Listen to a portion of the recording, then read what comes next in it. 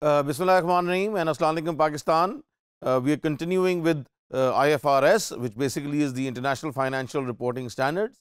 Uh, we talked about the IFRS uh, in our previous session. We looked at uh, what it is all about, uh, how the different stakeholders tend to integrate the standards into the Pakistani corporate market, what is the role of SECP, what is the role of ICAP, what is the role of IFRS itself, what is the role of the International Standards Accounting Board. So, all of these stakeholders basically came into consideration and we were seeing that how they integrate to ensure that the IFRS standards are applicable in Pakistan across its corporate world.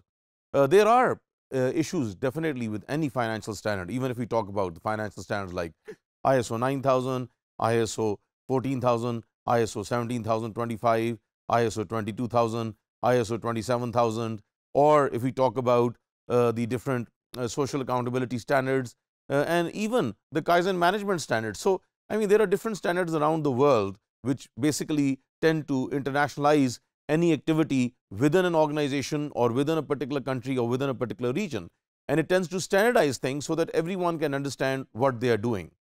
From an investment point of view and from the point of view of economics, uh, finance and accounting uh, become extremely important.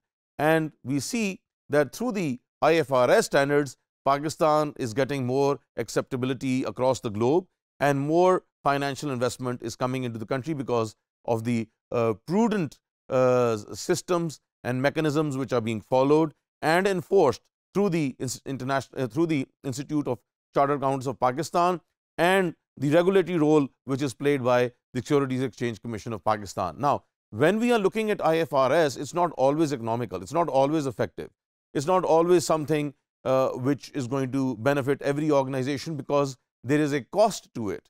And, and that can sometimes be borne by an organization and many organizations face a lot of financial constraints in it. And there therefore uh, in the case of Pakistan there should be different standards for different types of entities. Because in Pakistan we don't have very large uh, industrial entities or very large business or corporate groups. There are a few who can follow these standards but most of the companies in Pakistan are basically SMEs small and medium enterprises now when we have such a large bulge of SMEs then it is extremely uh, necessary and vital that there are different standards which are applied to the different segments of the market and it's nearly impossible for an SME to follow those regulations which are followed by a particular business group. Now, in the case of SMEs, uh, we see that uh, the IFRS should be according to its expansion area and the level of the organization just like I was mentioning earlier.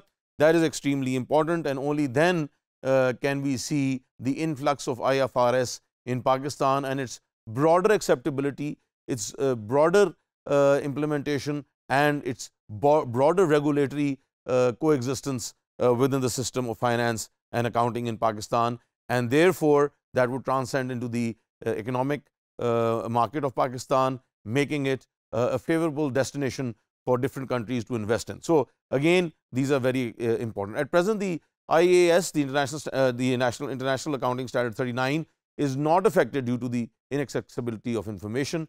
Moreover, it is not affected due to the data quality as well as the decisions and estimates that differs across these businesses. So, again uh, what we see is that depending upon the size of the business from small, medium to large, uh, there are uh, different uh, dynamics of uh, data, there are different uh, dynamics of decision making, there are different dynamics of standardization, there are different dynamics of accessibility or inaccessibility to information. So, all of these things are very important for the IFRS especially because when we are talking about the smaller organizations then they cannot uh, endure uh, the, uh, the impact, the financial impact of having well qualified individuals who would ensure that the IFRS standards are being met which uh, are globally acceptable. So, there has to be this customization and there has to be uh, this uh, size orientation and market segmentation in the IFRS to make it more effective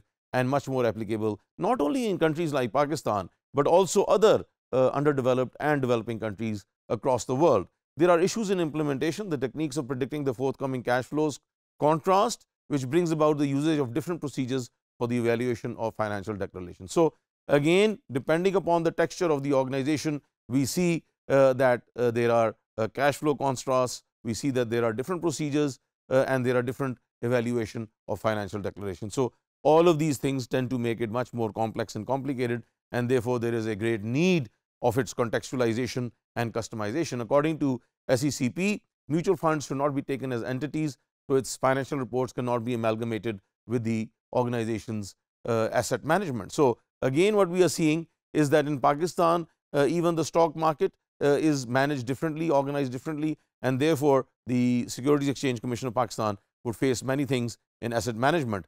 Uh, the international accounting standards involve the merging of financial reports. So, IAS, IAS is also in question for implementation by the Securities Exchange Commission of Pakistan. So, again we see these undulations and the indulations uh, in the process of financial reporting, of uh, accounting uh, amalgamation and also of the reporting standards. Now, to make them all homogeneous and coherent with the international financial reporting standards is a very uphill task, but not an impossible task, but there is a great need to improvise, there is a great need to segmentize, there is a great need to ensure that the standards Uh, are tweaked so that they can be accepted by the different segments uh, of the Pakistan economy.